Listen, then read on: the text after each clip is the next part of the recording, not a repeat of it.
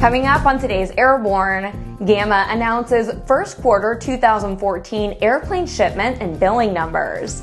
Quicksilver earns FAA acceptance for its SLSA. And the first flight of the Boeing production configuration AH-6I.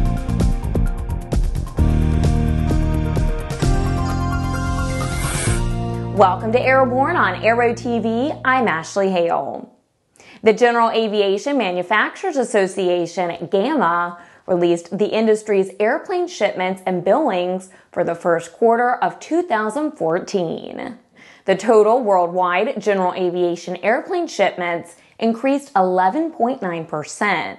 Billings for GA airplanes totaled $5.1 billion in the first quarter. That's up 9% from the same period last year. Piston airplane shipments increased a solid 21.4%. The number of piston airplane shipments, however, remains below the 2006 peak, where there were 600 shipments in the first quarter. Turboprop shipments declined 8.1%. Business jet shipments came in stronger, up 19.4% from the first quarter of 2013. GAMA president and CEO Pete Bunce said, quote, the GA manufacturing industry's first quarter numbers in 2014, especially the strong showing in the piston segment, are encouraging and show we can continue to climb our way out of this recession. But we remain a long way from being out of the woods, as shown by the mixed performance among sectors. End quote. Let the fun begin. The FAA has informed Quicksilver Aeronautics that their audit to produce the Sport 2S model as a special light sport aircraft has been satisfactorily concluded. The model will officially be marketed as the Sport S2SE. Quicksilver Aeronautics President Will Escutia said, quote, we are prepared to swiftly put the Sport S2SE into production as a fully built aircraft. End quote. Quicksilver Aeronautics has created extensions, which are manufacturing locations other than the headquarters factory in Temecula, California. The other two locations for full manufacturing of the S2SE are in Reserve, Louisiana and Rochester, Minnesota. Additional assembly centers are under consideration and will be established as demand requires.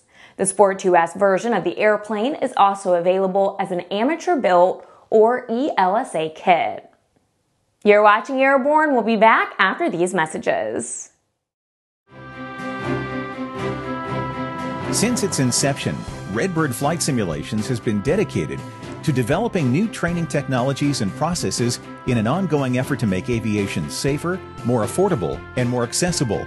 Consider Redbird's flagship flight training device, the FMX, a superior quality, full motion, feature rich advanced aviation training device priced with real world flight training organizations in mind.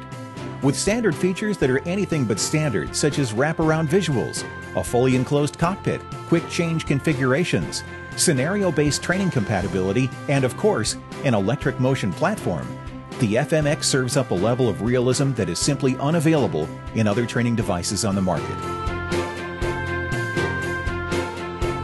For more information on Redbird flight simulations, the Redbird FMX, and Redbird's entire line of flight training devices, visit www.redbirdflightsimulations.com. Welcome back. If you'd like to support Airborne Aero TV, our website or podcast, drop an email to jim at aero-news.net. Boeing's AH-6I light attack reconnaissance helicopter has flown for the first time in its production configuration, moving the program another step closer to full-scale production, while continuing to prove the helicopter's close air support and attack capabilities. Boeing pilots flew the aircraft for less than 20 minutes at low speeds in forward, rearward, and sideward flight at low elevations during a recent test. Future tests will expand the flight envelope over the next several months. The AH-6I, an advanced variant of the AH-6M helicopter, operated by the U.S. Army Special Operations Forces, It incorporates advanced technologies from the Boeing AH 64E Apache multi role attack helicopter. The helicopter is intended to provide close air support for land based forces and serve as an attack platform for destroying tanks, armored vehicles, and fortifications. It's Friday at last and time for our weekly barnstorming commentary. Today, Jim is concerned that recent actions by the Navy and the FAA make aviation look foolish and petty. Here's this week's barnstorming. Thanks, Ashley, and hi, folks. Well, once again, we find our own community being its own worst enemy. And let me speak about two particular instances right now that are really sticking at me. Let's talk first about the Navy's case against Gregory McWherter. The quarter.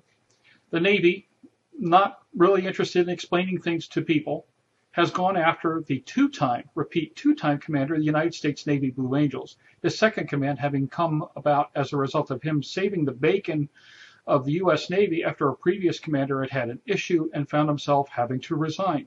McWherter came in, put the team straight, acquitted himself with honor and respect and professionalism. And I have to tell you, both by my own observation as well as the hundreds of people that I work with over the course of any year in the airshow industry, very few people in the entire community have garnered the respect that McWherter has. So why the condemnation? Why the grilling in the press? Why put out this kind of information with no substantiation and basically convict the guy in the press before a hearing can take place? Now, I have a hard time believing that McWherter has done what's been said. I've never seen an inkling of it. I've talked to members of the team, men and women, who just kind of raise their eyebrows, shake their head, and for obvious reasons won't say a lot. But to all intents and purposes, I can't find anybody who can legitimately corroborate that anything was wrong with McWherter's command or the atmosphere under which he commanded the United States Navy Blue Angels. It doesn't make sense. But no matter what happened, the way the Navy has handled this has been embarrassing to the Navy embarrassing to the airshow community, and most important of all, has basically ruined the career of an honorable man. On the other side, we've got the FAA continuing to go after the UAV movement because it doesn't know what to do, but it better do something. Or to quote Mel Brooks in Blazing Saddles, gentlemen, we've got to save our phony baloney jobs. They have made it clear that UAV operations are not to be tolerated even when those operations are used for rescue purposes to help our fellow man. Even when those operations recently were used to look at very quickly damage after a tornado, to search for information about what occurred during a natural catastrophe. But no, the FAA doesn't want to hear about it. They just want to find out who did it so they can go after them. An oft repeated quote is, What's the use of a newborn babe? Well, the UAV is the newborn babe that's starting to show incredible, incredible capabilities and the FAA does not know what to do with it. Fine. If you don't know what to do with it, get the hell out of the way so those of us who can and will and want to do something positive with it can. And until the FAA gets its act together, they should have no part of this. Let the courts do what the courts decided, that the FAA wasn't following their own rules. Let us go out and build a whole new industry. Because no matter what the FAA decides, believe me, we will. For the Aero News Network Airborne and Aero TV, I'm Jim Campbell. While the southeast United States was hammered last week by severe weather and torrential rains, the FAA continues to wallow in its self-made bureaucratic swamp. Here we go again with the use of UAVs. The FAA is looking into the use of a UAV by a storm hunter who also works as a journalist to get aerial photos and video of the damage caused by Sunday's tornado that tore through the area. FAA spokeswoman Lynn Lunsford said the agency is looking into reports that television station KATV had used a UAV to get aerial video of the damage caused by the storm.